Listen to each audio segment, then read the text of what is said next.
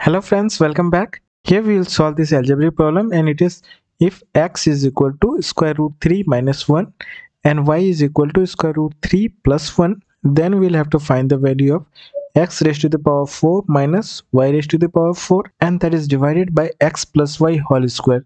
So friend do not forget to subscribe our channel. Now for solving this first of all we'll start with the problem. So we'll elaborate it. It is in the form of x4 so we can write it as x square and its whole square. Likewise y4 we will write y square and its square. And that is divided by x plus y whole square. So we'll have to find the value of this term. Now it is in the form of a square minus b square. We'll let x square x square as a and y square as b then we'll get in the numerator it is a square minus b square and the formula of it is a plus b a plus b times a minus b a minus b. Now this term we can write it as x square plus y square a plus b y square.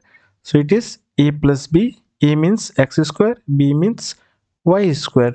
So it is x square plus y square and x square minus y square. So it is x square minus y square and that is divided by x plus y and whole square. Now again it is in the form of a square minus b square type. So we can elaborate it again. So it is x square plus y square. This term we have written x square plus y square. And now this term it is x plus y and x minus y. So that is divided by x plus y whole square. So here we have not elaborated x plus y whole square because we will get x plus y.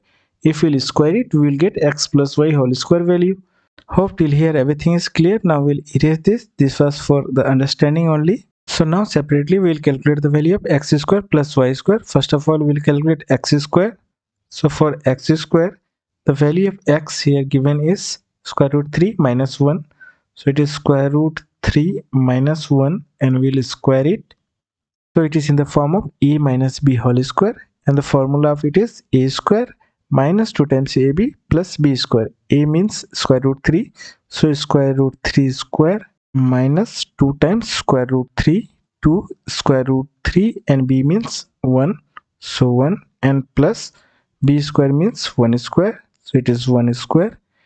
Now square root 3 square is 3 3 plus 1 4 so it is 4 and negative. So it is 2 times square root 3 2 square root 3 it is the value of x square.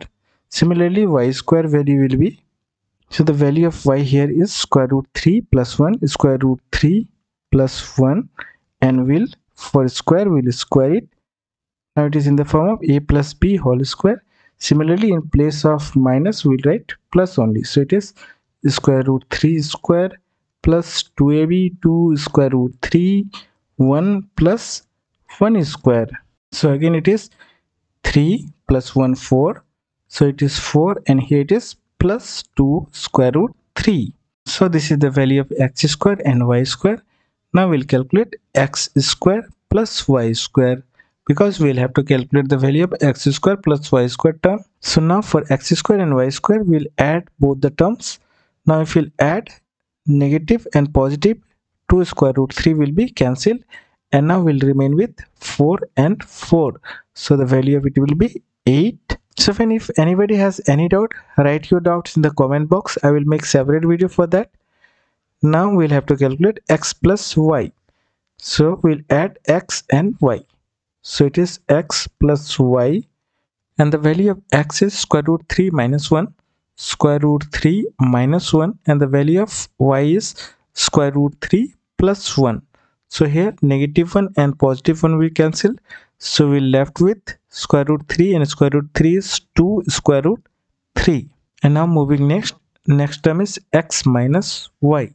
So here x minus y and the value of x is square root 3 minus 1 and now for negative y we'll have to negative y value. It is square root 3 will be negative square root 3 and plus 1 will be negative 1 and here plus square root 3 and minus square root 3 will be cancelled.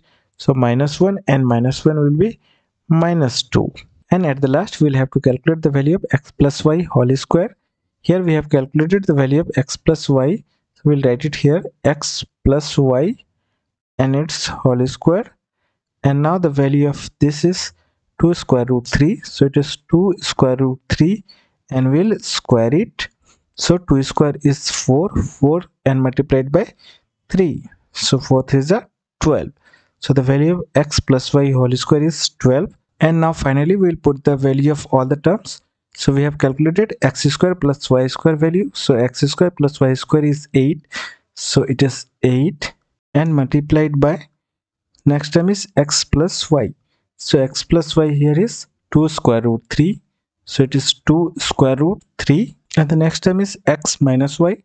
And the value of x minus y is negative 2 so negative 2 and that is divided by x plus y whole square so x plus y whole square here we have calculated is 12 12 now we'll simplify.